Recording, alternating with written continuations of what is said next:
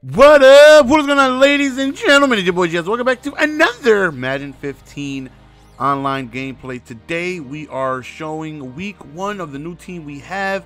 Here's a look at uh, the squadron we put together. Now, the newer players are Lambert, Peppers, Barry, uh, Flashback, D-Hall. Those are the newer guys that I haven't played with yet.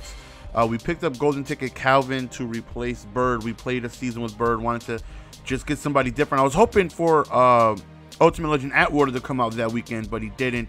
It was uh, Suh and uh, Steve Young. Actually, those guys too. Yeah, both of those guys are in the lineup as well. Um, so we are playing a familiar opponent. Uh, actually, this opponent uh, beat me the day before I played this game. Uh, I randomly matched up against him, and he ended up uh, beating me pretty good too. Uh, very tough offense. He comes out in pistol bunch, tight end, and uh, that formation and anything in the Eagles playbook has always given me problems. Like always. I don't know what it is about those two formations. I just have trouble with it. Um, so I already figured. Well, right there we end up running with uh, MJD. We get a touchdown. I didn't notice it was him until I noticed the way he was motioning out, motioning out his receiver on his pistol bunch. I was like, wait a minute, this is kind of familiar. This is probably the same guy I played uh, yesterday, and yeah, I think he beat me like 24 to 10. Um, so uh, right here, we get ourselves a good stop. Third and 11, we end up getting, whenever you play uh, 4-3 uh, wide 9, you know how randomly you'll just get like an A. That wasn't even on purpose. I wish I could send A gap purposely through that formation. Sometimes it just happens. Hey, that just happened to be one of them. So we end up getting a stop, and uh, right now we're in good position to go on ahead and uh, go up two scores. Now, he does get ball at halftime, so by no means is this a really big advantage. So I'm sure he remembers me as well. I could tell by the way he already lined up in the slot waiting for the smoke screen to happen as soon as I came out in that formation. Uh, that was the first time I lined up in it all game, and he already knew what was coming because I hit him with it a few times the previous game. And uh, once he jumped it, like was okay, yeah, this got to be the same guy. Has to be. So uh, we're up 14-0.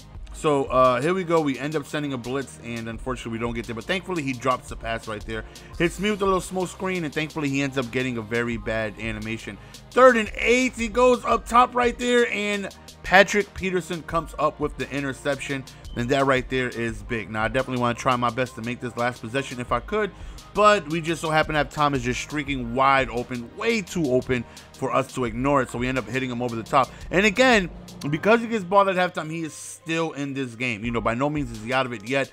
Um, he can score back-to-back -back possessions, and then it's just a one-possession game from that point. So this right here is a very, very, very important possession. You know, uh, hopefully we can stop him from scoring. If he does score, I want him. I want it to be quickly. Give me enough time to be able to drive downfield and hopefully get a field goal or some type of points before half. Right here he ends up just taking off man. We just end up i think playing quarters uh man to man and we just didn't get any pressure. Another smoke screen right there and he ends up getting a, a, good game. About a minute remaining 50 seconds left at this point. He goes up top face catches and he face caught me to death the game before. Didn't really do it too much so far this game but uh he's very good at doing it so we got to uh, keep that in mind as he ends up scoring only 30 seconds remaining so that right there was definitely a, a very very good job of him to be able to waste as much time as possible. So I got about 30 seconds at this point. I got to try and get something happening right here. We end up going to Thomas and uh, we call it timeout. Right here, I just want to play for a field goal. That's all I want to do. Just try and get myself a field goal to this point. We end up running with Barry. Uh, we get stopped. And I do kick a field goal, but unfortunately for me, the wind was six miles an hour against me, which made me miss. And that right there was extremely, extremely frustrating. Uh, knowing that when I lined up, I seen six miles an hour against me. I'm like, you gotta be kidding me. You gotta be kidding me.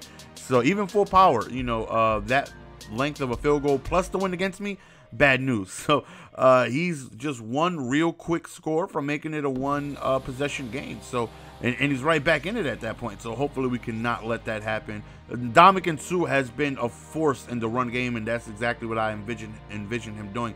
Hits us with the face catch right there, and uh, again, when you don't know it's coming, it, it's very tough to stop. You know, when you got somebody like him who uh, knows how to do it, but he's not abusing it. You know, like some people will do it literally every single play.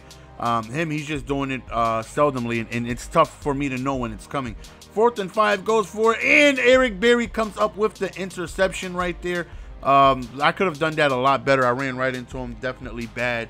Uh, bad running by me. But uh, nonetheless, man, he comes up with the interception, man. We had him in a short yellow, uh, quick hook zone, and we shaded underneath, and he ends up jumping the route. Uh, right here, we go deep up top over, and um, we came on that same formation with the smoke screen, and I figured he was going to sit on the slot corner that was supposed to be guarding that streak, and he's trying to jump that smoke screen, and that's exactly what happened but he had no over-the-top help. And the guy who was supposed to be guarding the streak, he was using trying to jump the the smoke screen. And uh, what I hoped happened did happen. So uh, right here, desperation time. He needs to score. He needs to score quickly. So he's going deep up top. Nice little uh, out route right there. Picks up the first down. Fourth quarters here. We're pretty much uh, you know, dominating the game at this point. Uh, you know, up 28 to 7. Hopefully we can keep it going. Nice fade route right there. So 28 to 14. At this point, uh, I want to be conservative. I don't want to be too aggressive. You know, I don't want to be stopping the clock, incomplete passes. You know, um, I want short passes, and I need this. That right there was a bad uh, example of staying in bounds, but uh, I need to make sure I stay in bounds, keep the clock going. As you see, man, we got the true clock on, trying to get to triple zeros as fast as possible trying to make it tough for him to come back. So I'm just running the ball right here. You know, like I said, trying to play conservative. Third and inches, we don't get it. And uh, fourth and one, we decide to settle for a field goal. This time, the wind is in our favor, and we are able to uh, kick that field goal with no problem.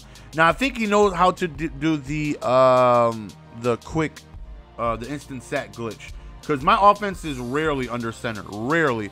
Uh, the game before, on my first drive, he stopped me. I was on uh, first and first and goal, and I did uh, I think like four QB sneaks, and he stopped me. But as soon as I hiked it, I was tackled immediately.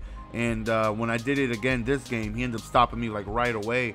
And uh, maybe I don't know if he doesn't know how to do it, then he's just really lucky with stopping QB sneaks. But nonetheless, man, we're up nine at this point, so it's going to be really tough for him to try and come back up two possessions. Uh, right here, just boneheaded play by me. One timeout. Um, he, he has an opportunity of coming. Well, two timeouts the only opportunity he has of coming back is getting the ball back. So, uh, not the smartest move by me, giving him the ball back where he can score, you know, get some onside kicks going his way. Should have just dove down, took some knees, and, and uh, take the win instead of scoring in that situation. Um, no need to score right there. I really don't know why we did, but uh, right there is a good play by him. I started double teaming the receiver on the outside, and I was manually watching uh, that guy and uh, I didn't manually watch him good that play. Not at all. not a good, not not a good user by me. And he ends up scoring right there. So again, he technically still has a chance. You know, all he needs to do is uh, get like an onside kick going or something like that. Goes for the squib, and um, thankfully, thankfully, Hester comes out of nowhere and just ends up getting the uh, the ball. So.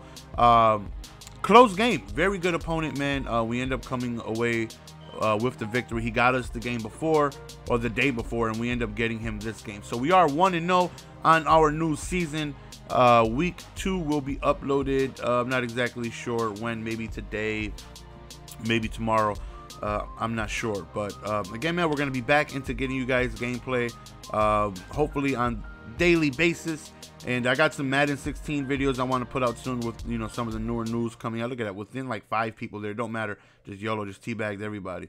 Um, but again, man, hopefully you guys enjoyed the video, man. It's your boy GS. We're going to go ahead and be signing out. Peace! Kick the field goal right there, I guess, for a little bit more coins. I don't know.